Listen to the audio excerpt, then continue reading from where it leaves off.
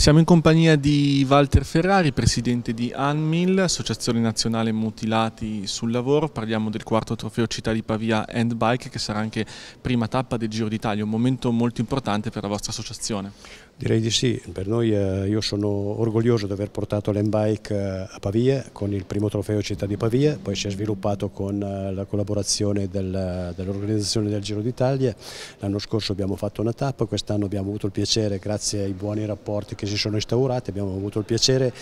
di avere la prima tappa, la partenza del, del Giro d'Italia di M-Bike. Quello che per noi però è importante è anche il quarto trofeo Città di Pavia che eh, rappresenta proprio la, la, nostra, la nostra, bandiera, ecco, la, quello che è stato il nostro impegno un profuso insieme all'assessorato dello sport del Comune di Pavia che insieme abbiamo voluto portare questa specialità qua eh, a Pavia che è per la prima volta e eh, devo dire che abbiamo avuto degli ottimi risultati sotto tutti i punti di vista c'è anche molta curiosità attorno all'end bike. Vuole spiegare il motivo per cui viene praticata questa disciplina? Ma noi siamo convinti che lo sport ehm, innanzitutto sia un veicolo notevole per quanto riguarda il recupero psicologico di coloro che hanno avuto un infortunio, di coloro che hanno avuto una malattia professionale, di coloro che hanno avuto un incidente anche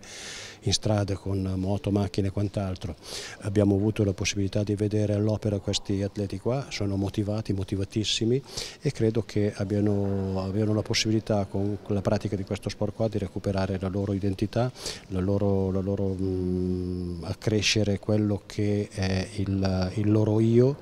proprio per, per l'impegno, per la possibilità che, si, che, che hanno di poter realizzare quello che in un primo tempo sembrava irrealizzabile. Quindi noi siamo convinti che per quanto riguarda l'autostima di chi ha avuto un infortunio, di chi ha avuto un incidente, sia uno strumento decisamente valido e importante per, per poter recuperare eh, proprio